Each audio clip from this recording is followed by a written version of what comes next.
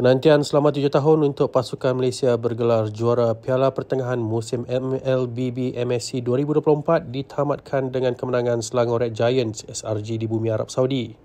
Pertarungan Grand Final menyaksikan SRG menewaskan Falcon AP Brand yang merupakan juara dunia M5 dari Filipina dalam tujuh perlawanan yang penuh mendebarkan.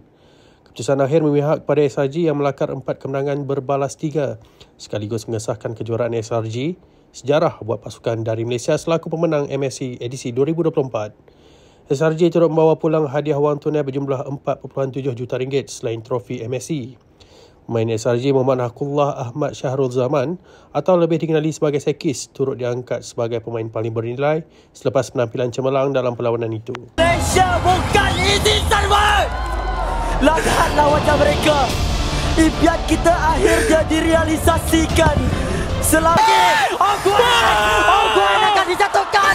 Sampai kali yang terakhir. Untuk teruskan pilihan Ya Allah! Alhamdulillah! Ya Allah! Ini Kemandisan untuk rakyat Malaysia.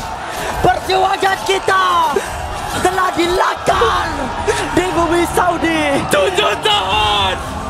2557 hari tuan-tuan dan puan Enam tahun menanti Selagi baik di dunia. We're standing in the eyes of the world.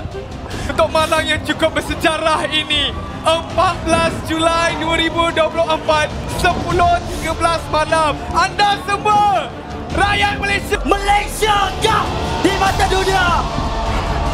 Wah Emosi yang mengalir. Perasaan yang tidak